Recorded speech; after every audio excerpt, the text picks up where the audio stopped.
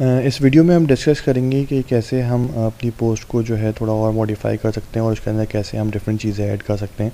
तो एक तरीका तो ये है कि जो हमने ये पोस्ट क्रिएट करी थी बिल्कुल सिंपल थी, इसमें टाइटल था और नीचे कुछ कंटेंट था। तो हम इसी को जो है वो एक तो तरीका ये कि हम मॉडिफाई कर लें, इस पर क्लिक करें और यहाँ से हम इसको मॉडिफाई कर लें। और एक तरीका ये है कि हम एक नई पोस्ट ही क्रिएट कर लेते हैं इस काम के लिए।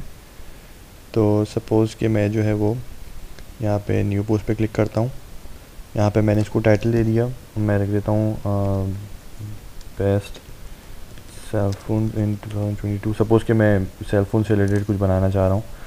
तो अगर फॉर एग्ज़ाम्पल मैं इसके अंदर इमेज ऐड करना चाहूँ, मैं सेल फ़ोन के साथ साथ इमेज भी फॉर एग्ज़ाम्पल ऐड करना चाह रहा हूँ कि उनका नाम भी लिख दूँ और इमेज भी लगा दूँ तो मैं यहाँ पे आऊँगा इंसर्ट इमेज इस पर क्लिक करूँगा। मैं यूआरएल भी डाल सकता हूँ उस इमेज का।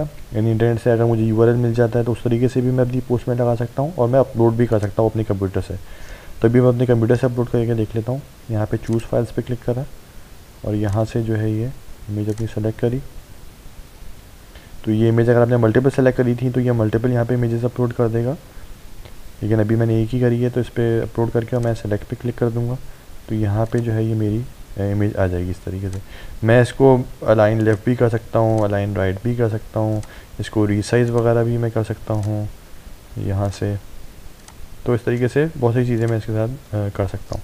तो फॉर एग्ज़ाम्पल ये मैंने इमेज ऐड कर लिया। अब मैं इसके बाद कोई टेक्स्ट ऐड करता हूँ कि this is a nice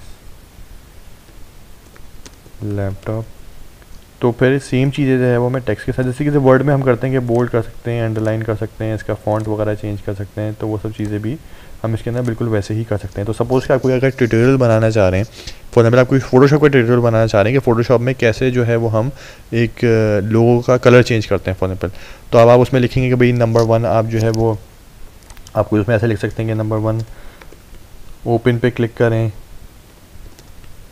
number two जो है वो आप सेलेक्ट करें कोई ऑप्शन तो इस तरीके से जो है वो आप ये भी कर सकते हैं कि इस तरीके से बनाते जाएँ साथ साथ आगे उसकी तस्वीरें लगाते जाएँ ओपन क्लिक के बाद जो है वो आपने ओपन क्लिक किस तरीके से आपकी स्क्रीन पर नज़र आएगा, वो आपने लगा दिया, उसका स्क्रीनशॉट इस तरीके से आप ट्यूटोरियल्स भी बना सकते हैं, उसमें आप इमेजेस इस तरीके से ऐड कर सकते हैं। इसके अलावा आप ये भी कर सकते हैं, आपने देखा होगा कि वीडियोज़ भी होती हैं बहुत सारी तो उसे वेबसाइट पे तो आप बेसिकली इसमें वीडियो भी अपनी वेबसाइट पे अपलोड कर सकते हैं सेम तरीके से। और यूट्यूब की वीडियो भी आप लिंक कर सकते हैं। तो जैसे इस तरीके से ये स्क्रीन में बनी हुआ आ रहा है ये सेक्शन इसी में आपकी इस तरीके से वीडियो आ रही होगी और वो प्ले भी हो सकती होगी। तो जैसे अगर मैं वीडियो अपलोड करना चाहूँ तो यहाँ पर मैं अपने कंप्यूटर से भी अपलोड कर सकता हूँ और मैं यूट्यूब से भी कर सकता हूँ लिंक उसके यहाँ पर तो मैं सर्च में आता हूँ और यहाँ पर आके मैं लिख देता हूँ लैपटॉप्स और सर्च कर लेता हूँ। तो ये बेसिकली लैपटॉप से रिलेटेड फॉर एग्ज़ाम्पल ये वीडियो मुझे ये वाली चूज़ करनी है। तो मैं सेलेक्ट कर लूँगा।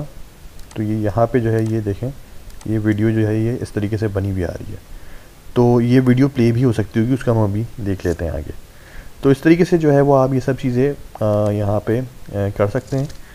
और आप ये जो आपने पोस्ट बनाई है, इसकी आप एच भी देख सकते हैं। वो अभी आप अगर इस पर ये जो पेन बना हुआ है, इस पर क्लिक करेंगे तो अभी अभी कंपोज व्यू में है। इसलिए आपको ये वर्ड जैसा ऐसा नज़र आ रहा है टेक्स्ट एडिटर अगर आप चाहें तो उसको एच भी देख देख सकते हैं इसकी उसके लिए आप एस एच व्यू पे क्लिक करेंगे तो ये बेसिकली इसके पीछे जो ये पूरी एच जनरेट हो रही है ये इसने दिखा दी। तो जैसे कि वेबसाइट जो है जो भी हमारे ब्राउज़र पे चल रही होती है वो एच दिखा रही होती है। यानी जो ब्राउज़र है हमारा फायरफॉक्स हो गया क्रोम हो गया उसको जो लैंग्वेज समझ में आती है वो एच की लैंग्वेज होती है। अब हमने जो ये पूरा बनाया हुआ है अपना आ, ये जो हमने अपनी पोस्ट जो बनाई थी तो ये तो नॉर्मल टेक्स्ट थी। ये अगर हम वापस से इसमें आ जाएँ तो ये जो हमने अपनी पूरी बनाई थी, ये तो नॉर्मल टेक्स्ट थी तो ये हमारे ब्राउज़र को कैसे समझ में आएगी? तो उसके लिए ब्लॉगर ये करता है कि जो भी हम चीज़ें यहाँ पे कर रहे होते हैं, उसके साथ साथ वो एक एच जनरेट कर रहा होता है हर चीज़ के लिए। यानी अभी जो हमारा पेज सामने ऐसा नज़र आ रहा है, उसके लिए उसने पूरी की पूरी उसकी एच जनरेट करी है, पूरे पेज की, जो कि ऐसी नज़र आ रही है। और ये वो एच है जो कि हमारे ब्राउज़र के समझ में आएगी। तो बनाने के लिए, हमारी आसानी के लिए उसने हमें एक ऐसा जो है ये एडिटर दे दिया लेकिन पीछे वो इसकी HTML ही जनरेट कर रहा है ताकि वो ब्राउज़र को समझ में आए। तो ये हमारे ब्राउज़र ये जो वेबसाइट दिखा रहा है, ये उस एच की बेसिस पर दिखा रहा है।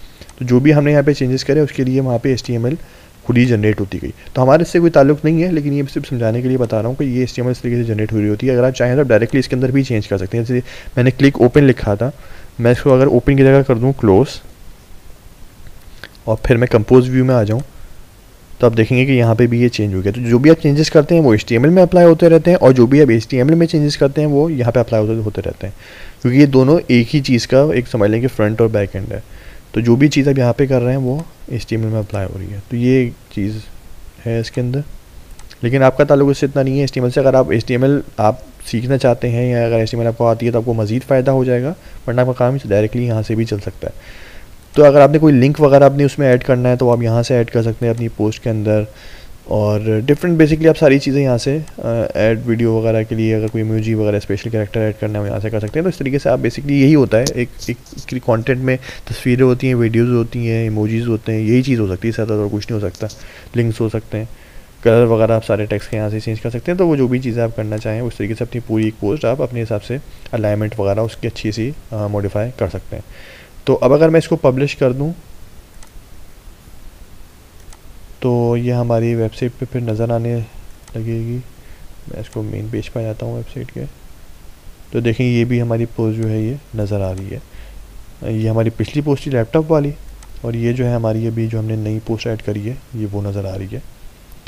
तो मैं अगर इस पर क्लिक करूँगा तो आप देखेंगे कि ये हमारी डिटेल इसका पेज खुल जाएगा। और ये वीडियो जो हमने ऐड करी थी यूट्यूब की, वो इस तरीके से यहाँ पे नज़र आ रही है वीडियो और अगर मैं इसको प्ले कर देता हूँ तो ये यहीं पे डायरेक्टली मेरे पेज में प्ले भी हो जाएगी। तो ये देखें कि ये कितनी अच्छी और पावरफुल चीज़ है। और आप चाहें तो उस पर क्लिक करके यूट्यूब पे भी इसको देख सकते हैं डायरेक्टली तो आप इससे सोचें कितना कुछ कर सकते हैं। आप कोई ट्यूटोरियल बना के डाल सकते हैं। आप कोई चीज़ एक्सप्लेन करना चाह रहे हैं तो आप साथ साथ उसकी तस्वीरें और वीडियोज़ करके बहुत अच्छे तरीके से पूरे अपना आर्टिकल या अपना एक पोस्ट बना सकते हैं।